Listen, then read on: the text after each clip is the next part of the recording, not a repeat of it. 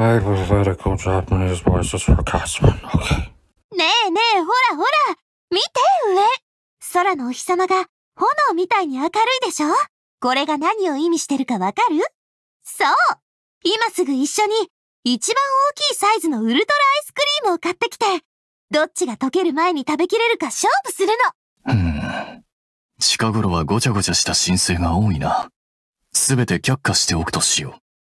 飾り立てた言葉で取り繕うより、俺は、包み隠さず事実を言う方が好きだ。一日の計は早朝にあり。今日も頑張ろう。よし。今から任務を始めよう。わらわにとって、普遍も一種の美。はあ。じゃが、属性とはいつまでも変わらぬまま続くものではない。今さら兵隊を借りたところで、悠長に到着を待つ気か。ここが落ちればあの蛮族どもを前に首都ランデラは丸裸なんだぞ。無駄な時間を過ごしてると仕事が終わらないわよ。休むことも大事だけど気を抜きすぎてはダメよ。趣味は裁縫に飛行の練習それから他人を助けること。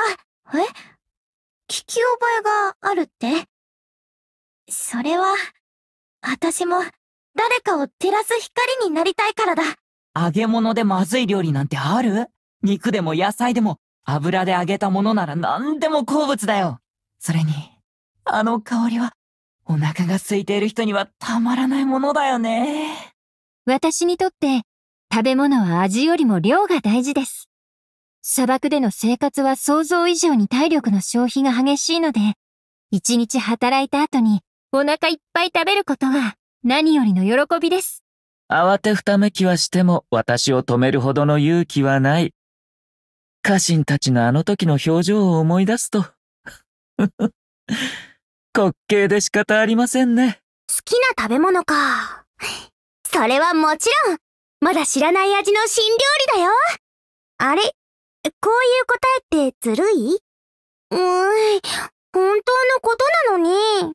コーヒーを飲むなら、俺はミルクを入れる方だ。お茶なら、砂糖二つでいい。完璧なさじ加減だ。俺にはやれそうもないな。うまいな。次は俺がご馳走しよう。いってらっしゃい山を降りた時に様々な料理を食べたが、味はあまり覚えていない。ただ唯一忘れられないのは、かつて暮らした家で食べた一杯の麺。趣味ね。そうだな。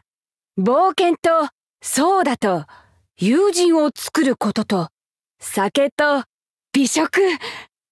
ちぃ、片手じゃ足りないな。ふふ、よ、た、は、は、なんなん。早く仕事を終わらせて帰ろう。時間を無駄にするな。邪魔をするな嫌い罰女人々に契約を守らせ、ルールに従って行動してもらうのは、公平を守ってほしいからだ。